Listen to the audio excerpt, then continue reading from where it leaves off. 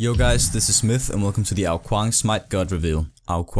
King of Dragons. I know, how cool is that? You know what isn't cool? Him as a person, like, like Ao Kuang, don't take it too personal, but you're fucking dick. Right, so Ao Kuang had total control over the eastern shores. Ao Kuang accepted sacrifices from these people if they wanted plenty of water, rain and all that shit. I mean, that's fine, that's that's something for something. He then got greedy as fuck and demanded even better sacrifices. But since they couldn't give him that, he fucking sent like tidal waves and tsunamis at them. You know, that's how life works, like, if, if people don't give you what you want, then just, just kill them. Later on came Sun Wukong to his undersea palace, seeking a weapon. And Ao Kuang was all like, just take that Minecraft wooden sword over in that corner. Yeah, yeah, yeah, that one. But Wukong didn't want that shit, so he took the Ruchi Jingu Bang. That's exactly how you pronounce it, just trust me in this one. This was an immense pillar that aided in controlling the tides. I don't, I don't think that's a euphemism, but I'll, I'll make it one now. That's a weather changing deck. It was believed that none could lift this, but Wukong didn't give a fuck. He just picked it up and spun it around. It was, it was all cool. So Wukong then also demanded armor from ah Ao Kuang, and ah Ao Kuang was forced to supply it because you know he could he could lift that deck. He couldn't, and that's how ah Ao Kuang became Sun Wukong's bitch. Okay, now comes the part of the story where okay, just take a listen. Ne Zha, yes, that little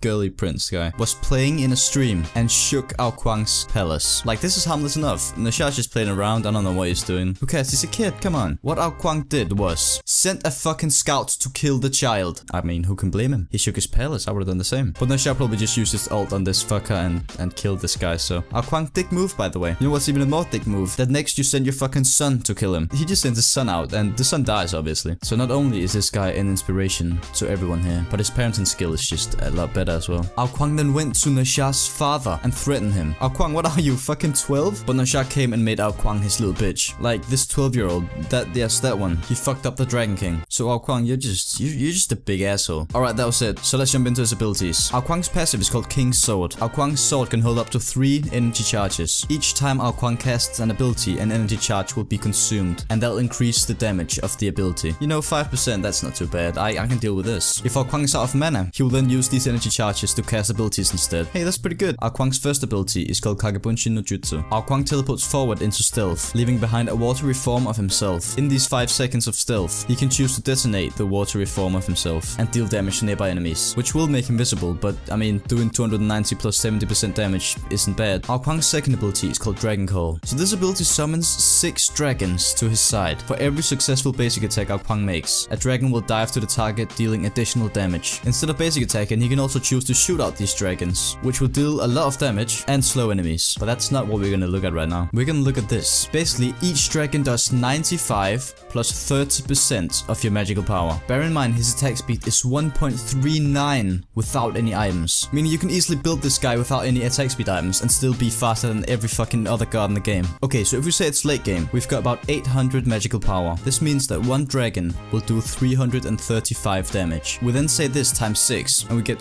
2010. And this in itself is so fucking broken. But remember, this is only the ability attacks. Bear in mind, he also has to do 6 other basic attacks on top of this. So imagine if he buys Spear of Magus and Demonic Grip. And that means not only will his basic attacks do more damage, but the dragon's damage will increase as well, which will easily result in about 4000 damage. And it just fucking melts everyone. It doesn't matter what you are or who you are.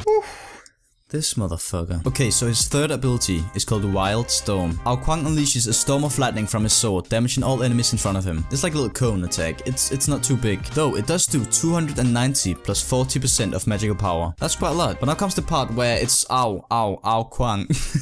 This hit is considered a basic attack, which will activate item effects. So we talked about Sol and how her 2 was OP back then, but Ao Kuang's 3 still does it. And also remember, cause it's a basic attack, one of his dragons from Dragon Call will also apply on this attack. So in theory, let's see how much damage this can do. Imagine we have Demonic Grip, we have Polynomicon, we have Soul Reaver, we have Spear of Magus, and all these 4 items will proc on this. Polynomicon is a must-have item on this guy. It's fucking crazy how much damage it does. Then we got Soul Reaver, which will take 15% of the max HP. This ability alone will half hit someone. Now what you do is you press 2 before you use this, so an additional dragon will drop down on them. After this is done, you should definitely throw out the 5 remaining dragons, and you'll fucking 2 hit people. I'm not even joking, it's insane. Alright, so it's time for his ultimate. Ao Kuang's last ability is called King of the Eastern Seas. Ao Kuang grabs a single target, damaging and knocking them into the air. If the target is below a health threshold, Ao Kuang will then reveal his true form, becoming an airborne dragon and executing them, restoring health. Okay, so just to clear this up, um, if an enemy god has got 30% HP or less of his maximum HP, Ao Kuang can eat them and insta-kill them. On top of that though, he heals 30% of maximum health himself. What the fuck, man? But also, when he has eaten this person, he then stays in midair as a dragon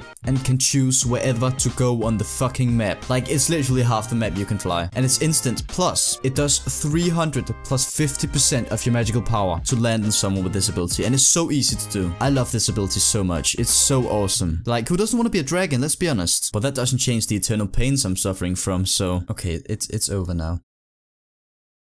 Wait, what do you mean it's not over? Okay, let's take a look at some fighting scenarios. You're in a bad position and people want your booty. You can use your ultimate to throw people up in the air and buy yourself more time. And then use your one to be stealthy and just do some low-key things. Then you're getting out, but you're still getting attacked, so what to do now? Oh, I don't know. Maybe get a friend that can come and save you.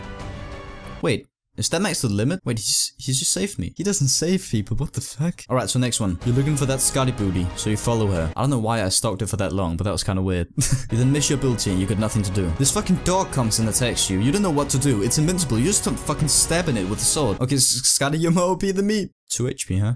I'm OP as fuck. And to end it all, this.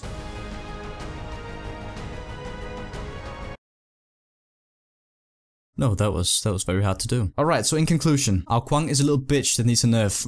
Alright guys, so I really do hope you enjoyed this video. If you did, make sure to drop a like down below to know, subscribe if you're new. Make sure to leave a comment of what god you want me to talk about next. And as always, my name is Myth, and thanks for watching.